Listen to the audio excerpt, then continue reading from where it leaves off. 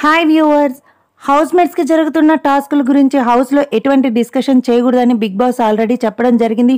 ఒకవేళ డిస్కషన్ చేస్తే ఈ టాస్క్లన్నీ రద్దు చేయబడినని కూడా వార్నింగ్ అయితే ఇచ్చారు.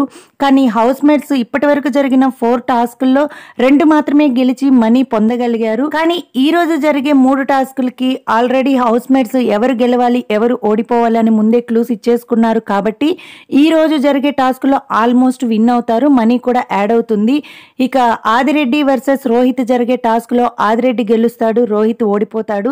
హౌస్ మేట్స్ గెస్ కరెక్ట్ అయ్యి మనీ యాడ్ అవుతుంది. ఇక గోస్ట్ టాస్క్ ఉంది. ఆ టాస్క్లో కన్ఫెషన్ రూమ్ నుంచి ఇద్దరు వెళ్ళి వస్తువులు తీసుకురావాలి. సో దీనిలో శ్రీహాన్ వర్సెస్ ఆదిరెడ్డి పార్టిసిపేట్ చేస్తారు.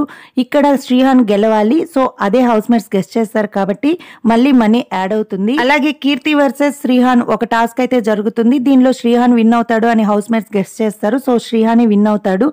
ఇక్కడ కూడా మనీ యాడ్ అవుతుంది. కానీ గోస్ట్ టాస్క్లో ఒక్క కంటెస్టెంట్ మాత్రమే నేను కన్ఫెషన్ రూమ్కి వెళ్ళను అని అనడంతో ఆ ఒక్క లక్ష రూపాయలు మాత్రం యాడ్ అవ్వదు.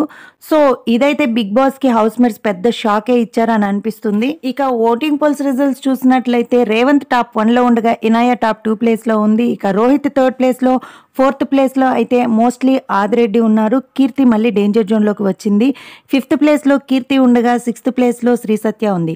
ఒకవేళ డబుల్ ఎలిమినేషన్ అయితే కీర్తి శ్రీ సత్య వీరిద్దరూ ఎలిమినేట్ అవుతారు. సో ఎప్పటికప్పుడు బిగ్ బాస్ అప్డేట్స్ కోసం మన ఛానల్ని సబ్స్క్రైబ్ చేసుకొని ఫాలో అవుతూ ఉండండి. అలాగే వీడియో నచ్చినట్లయితే ఒక లైక్ ఇవ్వడం మాత్రం మర్చిపోకండి.